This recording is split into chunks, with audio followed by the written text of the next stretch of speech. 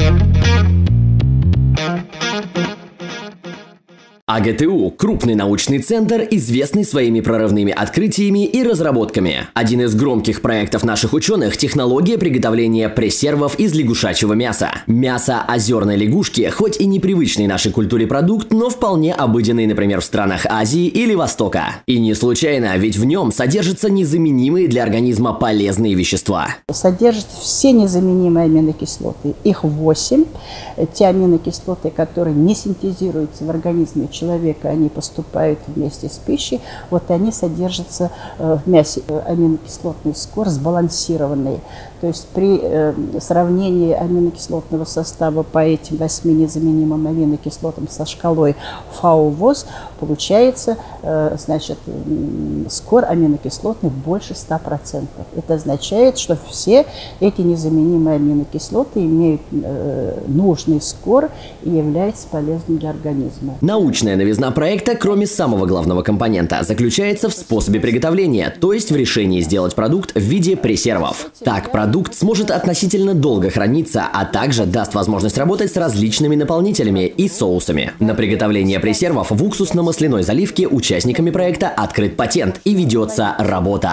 Мясо мороженое как сырье мы рекомендуем. Затем из мороженого мяса изготавливаются консервы, пресервы, с подбором режима стерилизации, со сроком хранения и так далее. И для того, чтобы можно было рекомендовать производству разработанная техническая документация. Пищевую ценность имеют лишь задние лапки лягушки, но и остальным частям ученые вуза нашли применение. Так предлагается соление икры, которая по вкусовым качествам напоминает осетровую. Еще у разработчиков была идея изготовить из замороженного мяса лягушки колбасу, добавив рыбный фарш. Кожа лягушки также интересный элемент. Она обладает бактерицидными свойствами и имеет в себе антибиотик, который активно подавляет микрогрибки, бактерии и стафилококки. Куратор проекта получила патент на способ обработки лягушачьей кожи и планирует продолжать изучение полезных свойств и способы ее применения. Можно из кожи получить э, порошок, э,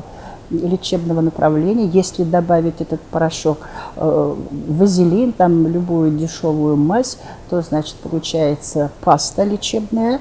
Э, этой пастой можно различные раны, э, они хорошо заживают. Традиционно в утиль выбрасываются оставшиеся части лягушки, голова и внутренности. Но ученые АГТУ планируют переработку этих частей в корма для рыб, выводя проект практически на безотходное производство. Thank you.